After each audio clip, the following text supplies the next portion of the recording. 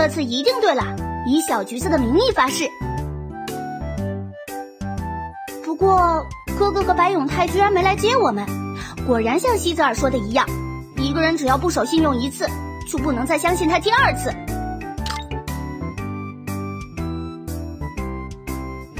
这就叫人不可貌相。当年要不是他随便许诺，现在怎么会所有人都知道我小橘子的小名？虽然我并不讨厌大家这样叫我，可是他也太……你不会觉醒了什么奇怪的八卦之心吧？现在可不是说这个的时候，我们还是赶快找到白永泰和哥哥吧，不然等到后面的车手都来了，这座城市可能会变得沸腾起来。到时候找人可就没这么容易了。嘿嘿，你可以永远相信小橘子。我哥哥在我手机里装了他位置的定位系统，定位显示他们就在城市中心的那座广场里，那里一定在举行盛大的活动，哥哥和白永泰才会一起去。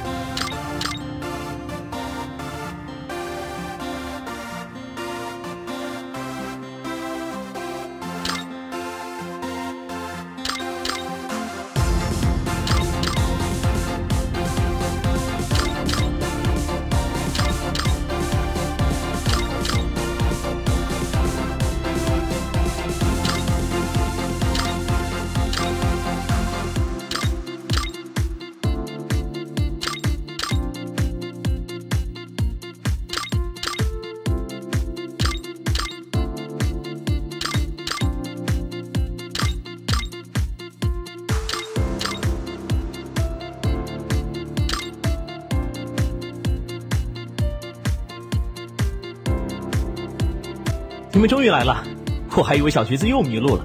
毕竟，毕竟小橘子没有像某位只会耍酷的赛车手一样，又一次食言。我们来给你探听消息。第一次世界穿梭，这种热闹你肯定不愿意落下。探听消息有必要你们两个人一起来吗？我还以为哥哥不愿意和你一起行动。需要车手赛车搭载新的模块，我不擅长这个，只能叫马特拖着你的赛车一起来。他不乐意也没用。就算是这样，你也可以给我留个言吧。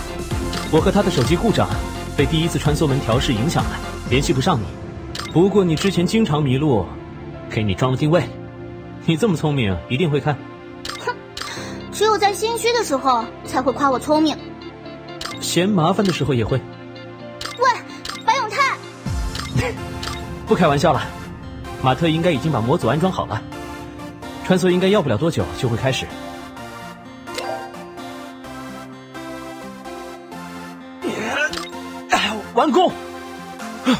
说了，我机器不是马特大爷的对手。嘿，那当然了，为妹妹做的事情，我马特什么时候放过水？